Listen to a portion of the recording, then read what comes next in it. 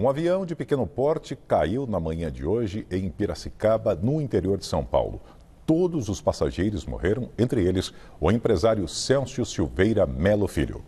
Sete pessoas estavam no avião King Air 360 rumo ao Pará quando o acidente aconteceu por volta das nove da manhã, pouco tempo depois da decolagem.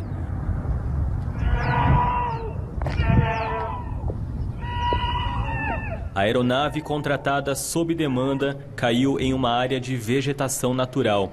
Ainda não há informações sobre a causa do acidente. Pelas imagens de uma câmera de segurança que captaram o exato momento da queda, é possível ver que o avião explodiu assim que sofreu o impacto. O Corpo de Bombeiros foi acionado para prestar socorros e controlar o fogo que se alastrou após o acidente.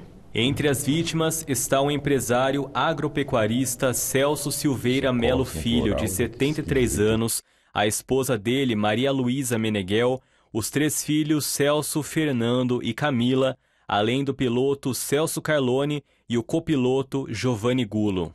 A morte da família foi confirmada pela COSAN, empresa de distribuição de combustíveis da qual Celso Silveira Melo Filho era acionista. Natural de Piracicaba, o empresário dedicava-se ao cultivo de milho e soja, tendo sido coordenador geral na implantação de projetos das usinas Costa Pinto e Santa Bárbara entre as décadas de 70 e 80. Ele é irmão do bilionário Rubens Ometo Silveira Melo, fundador e presidente do Grupo Cosan, e ainda foi presidente do 15 de Piracicaba, time de futebol tradicional da região. Atualmente compunha o quadro do Conselho Deliberativo do clube, segundo informações da nota de pesar divulgada pelo time.